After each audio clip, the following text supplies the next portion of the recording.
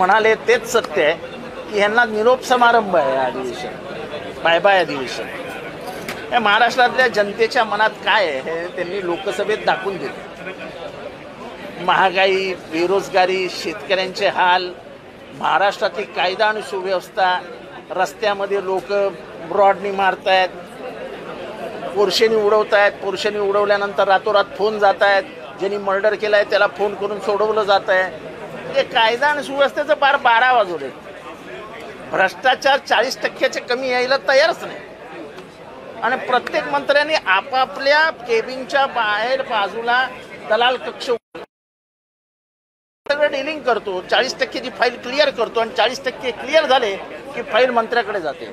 हे चाळीस टक्के सरकार झाले आणि त्यातनं मनुवाद. ह्यांचे शिक्षण मंत्री स्वतः म्हणतात की आम्ही चार चांगले श्लोक पाठ्यपुस्तक घेतो. आणि मनुस्मृतीतले चांगले श्लोक घेणं हे का वाईट आहे का? असं कोण म्हणालं? असं शिक्षण मंत्री म्हणाले.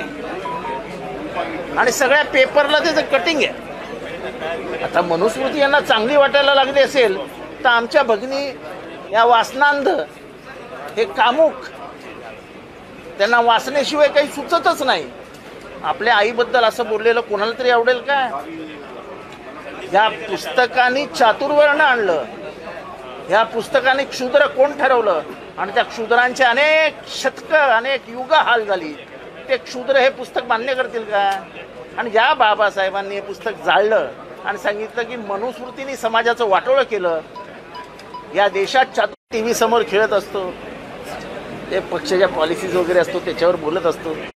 कसले? प्रकरणामध्ये कोर्टाने कोर्ट? कुठलं कोर्ट? कोर्टाचे आदेश मानतात काय?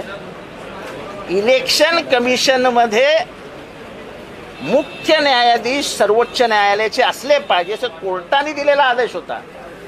आपण लोकसभेत गेलात आणि तो आदेश बदलून घेतला. आता शक्य नाही होणार आता दोनशे चाळीस विरोधात आहेत. पण जेव्हा तुमच्याकडे ॲब्सोल्यूट मेजॉरिटी होती तेव्हा तुम्ही लोकशाहीचा गेले दहा वर्ष गळा कसा दाबत होतात अख्ख्या भारताने बघितलं. पार्लमेंटमध्ये उभे राहणारे प्रश्न हे काय? जितेंद्र आव्हाडचे पवारसाहेबांच्या घरचे राहुल गांधींच्या घरचे नसतात. तो जनतेचा आवाज होता. तो जनतेचा आवाज कसे तुम्ही पाय देऊन गळ्यावर ते दाबून टाकायचे ते स्पष्ट दिसत होतं. पुण्यामध्ये एका बिल्डरनं एका शेतकऱ्याला बंदूक